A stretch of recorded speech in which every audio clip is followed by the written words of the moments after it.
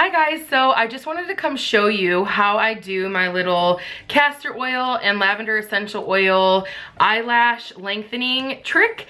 Um, I've been doing this for the last couple of months and I feel like my lashes have really grown a lot. Uh, and I don't know, it just feels like more nourished and I just, I have so many good things to say about castor oil. And this is actually the castor oil that I use. This is the Now Solutions castor oil. Uh, there are tons of different castor oils out there right now though. Um, I've just always liked the Now products. So I got this on Amazon. I believe you can probably get castor oil at a lot of health food stores and stuff like that, but I will link this below from Amazon. I'll also link a couple other ones that I think would be good that might come maybe in a little bit of a smaller tube or something because I'm telling you guys, I've had this for a long time now and I've barely put a dent in it and I use it all of the time because it's not only good for like the lengthening of the lashes, but it's very good for hair and skin and stuff like that. Like I've used this on dry scalp before and it works really well. So look up the benefits of castor oil and you'll see. And then the other things that I use for this are these little mini mascara wands and I use some Young Living Lavender Essential Oil.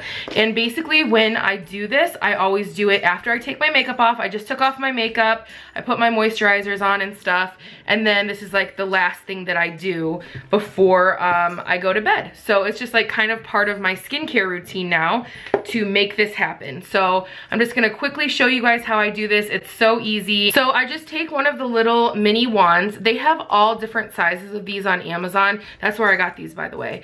Uh, I get everything from Amazon.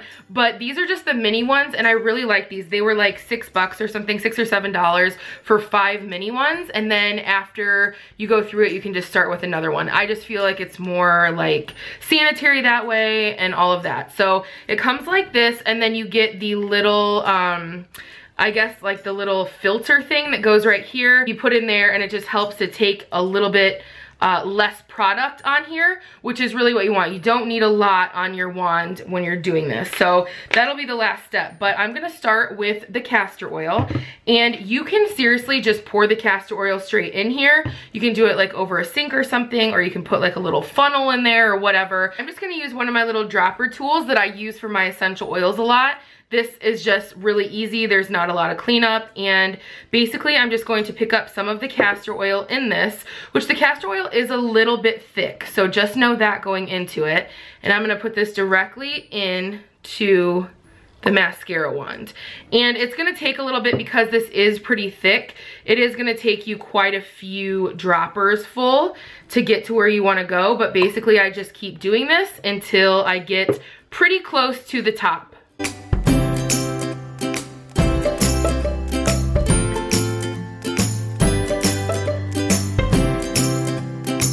Okay, so I do like to leave a little bit of space at the top because I am gonna put one drop of essential oil in here and you also have to, you know, stick the wand in and you don't really want it to overflow. So I'm just gonna go in with one drop of lavender essential oil. Now I will tell you, I have only used Young Living essential oils. Um, I don't necessarily trust a lot of other brands because I haven't used them, so I can't speak on that. So before you just randomly put any type of essential oil near your eyes especially, be sure to check the ingredients and the quality of them. Um, I just really trust Young Living, so that's why I use this, but if you have something else and you trust the quality near your, your eye, then you can try that too. But for me, I just use this and it's worked totally fine for me and I really do believe it's helped with like the growth of the lashes. So I'm just gonna go in with one drop of this. You again can just drop it directly in. I'm gonna use my little, uh, my little filter here and do one drop into the tube. There we go. It ended up being two drops and that's okay. Obviously, the bigger your tube, the more lavender you'll want, but I really don't think you need more than one or two drops in the tube because a little bit goes a long way. So that's what this is gonna look like. And then I'm gonna put this little part in here. And then I'm going to dip the wand right in there and twist it on. So this is how it just stays on my little vanity area. And then when I'm ready to use it, all I have to do is pull it right out and it's perfect. Okay, so I zoomed you in so you can see a little bit better, but I have a couple of ways that I apply this. The first way obviously is with this little mascara wand, and basically I just put it directly on to my lashes, just like you would put mascara on. So you can definitely just do it like this, and it is gonna be a little bit weird because like I said, that castor oil is a little bit thick, but having this little part right here really helps to take off a lot of the product, so it's very good. So I just put it on like I put on mascara and let it get onto all of my lashes. And I also do my bottom lash line as well. And you don't want to rub this, like you don't want to really rub your eyes much after you do this. Like let it settle in. That way you're not getting it in your eyes, you know? So this is how I do it. I try to get in all of the little small areas too because those are the areas that you know, you want to kind of stand out when you have your lashes and when you have your mascara on and stuff. So Look at my hair just everywhere. so this is how I do it. Now, a lot of people like to go uh, on the lash line because that is where the, the growth happens. So I do have something that I used to use a long, long time ago, and it's like this kind of wand right here. I don't know if you guys can see that, but it's just like a little wand that can go directly across your lash line. So I use that sometimes too. So I just dip this wand into, I dip this wand into my little castor oil concoction and wipe it off a little bit. And I just put it directly across the lash line like this. So it just promotes growth from the root up, you know? So that's how I do that, and you can do it either way. I'm sure you can get some of these on Amazon.